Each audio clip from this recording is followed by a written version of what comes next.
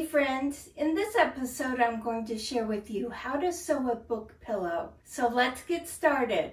The pillow has a pocket in the front to hold your book. It also has a handle so you can carry the pillow. The backside has an envelope opening so it's easy to take the pillow form out if you need to wash the cover.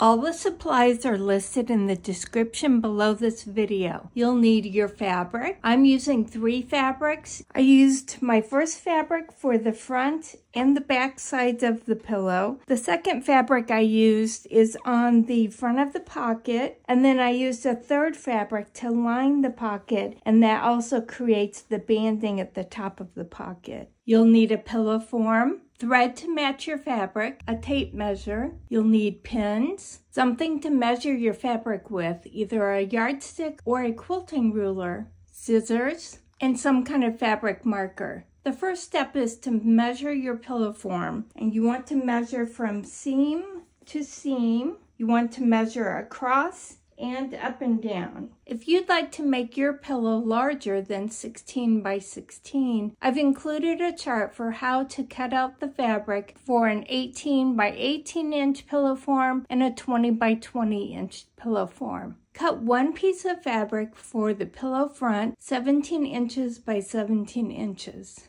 Cut one piece of fabric for your pocket. It will be 17 inches by 10 inches. Cut one piece of fabric for the pocket lining. You'll need to cut it at 17 inches by 10 and a half inches. Cut two pieces of fabric for the back of the pillow.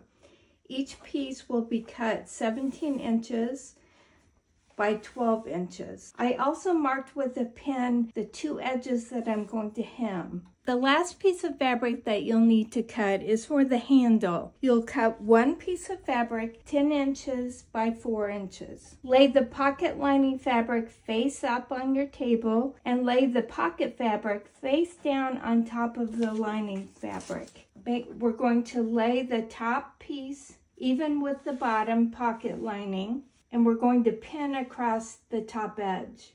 Now that we've pinned our top edge, I'm going to take both pieces of fabric to the sewing machine and I'm going to sew the two pieces together using a quarter inch seam allowance. You can see I've sewn my fabrics together using the quarter inch seam allowance. Next you'll want to flip your fabric open and you'll want to make sure that the seam allowance is ironed towards the lining of the fabric. So we're just going to iron this down flat.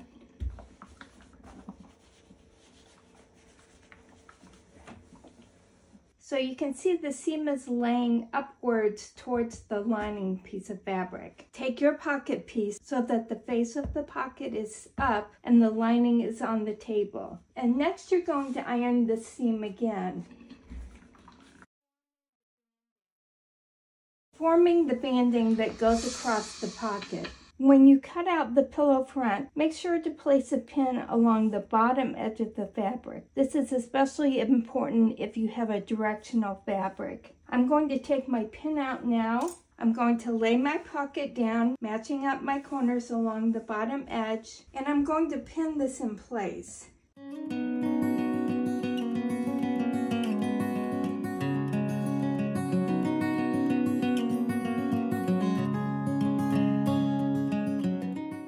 Sew a long basting stitch just around these three edges of the pocket and that is just to hold the pieces together until we get the front and back connected. You can see where I've sewn around the pocket edges using a long basting stitch and a quarter inch seam allowance. For your handle, place your fabric face side down, fold up so that you're folding your fabric in half and iron. Place the top piece so that the edge goes into your ironed crease. And then iron that fold. And do the same on the other side, folding the fabric in towards your middle crease. And iron. Take the handle fabric to the sewing machine, top stitch along the long edge on both sides. Once you've top stitched on both long edges, this is what your handle should look like. Next, pin your handle to the top edge of the pillow cover. You're going to want this outside edge to be about 5 inches from the edge of the fabric. And you're going to pin it in place.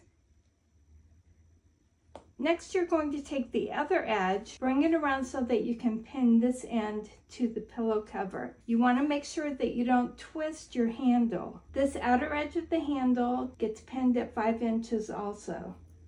Sew both ends of the handle to the pillow cover front using a quarter inch seam allowance to hold the handle in place. Here's the handle sewn in place. Take one of your two back pieces and lay it face side down on your table. The edge that you pinned, we're going to fold up one inch, iron it,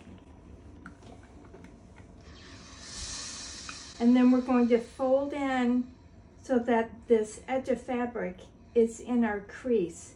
And this creates a double quarter inch hem for us. And we're going to iron that.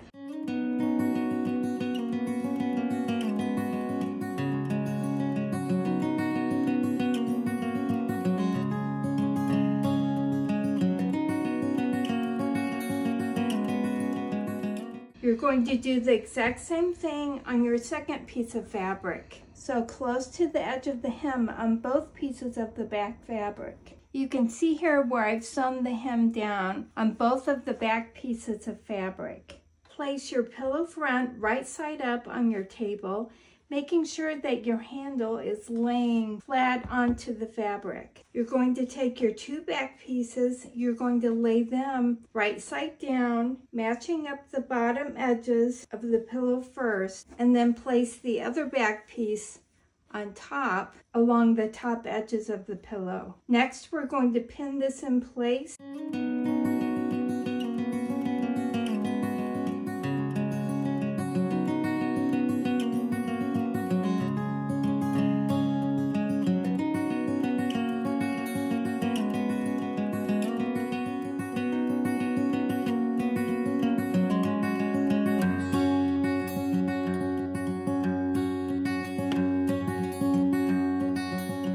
Once all your pieces are pinned together, you're going to sew all the way around all four sides of your pillow using a half inch seam allowance. Once I started sewing around the pillow, I realized I had placed the two back fabrics opposite from the way I wanted them placed. I had it pinned like this so that the top piece is on top of the other back piece. But the way you want to lay it out is you want to have the top piece laying directly on the pocket in the front of the pillow first and then lay the bottom back on top of that. So I'm going to finish pinning this again and then I'll continue sewing around all four sides of the pillow using my half inch seam allowance. You may want to sew the handles back and forth a few stitches to make sure they're really secure. Your pillow cover is sewn together on all four sides using a half inch seam allowance. Before we turn the pillow cover right side out, it's a good idea to clip the corners of your pillow cover so that when you turn it right side out, the corners will pop out nicely.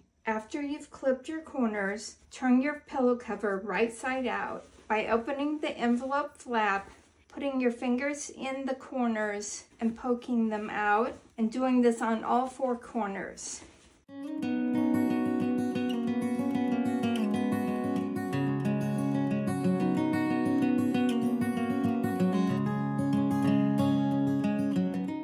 Turning the pillow cover completely right side out.